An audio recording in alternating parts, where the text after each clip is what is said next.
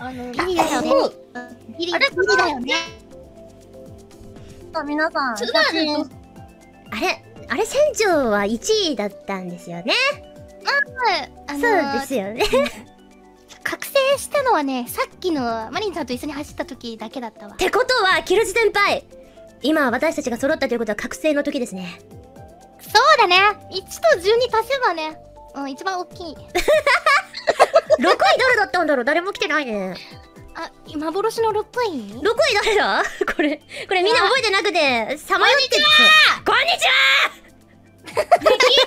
あのね、は。うんうん。スバルがね、スバルと一緒の順位でね、はいはい。うんなんか6位になったから、うん。そう、5位だったの、2人5位で、はいはいはいはこいっち来た。なるほどねうんしおんたんちょっとまうんママを求めてこっちに来たわけね確かに。ママ、ママみをも求めてねママチームにババあ、らあらババがおる。うんうんママとババ。バママとババ。おいガガキ殺すぞ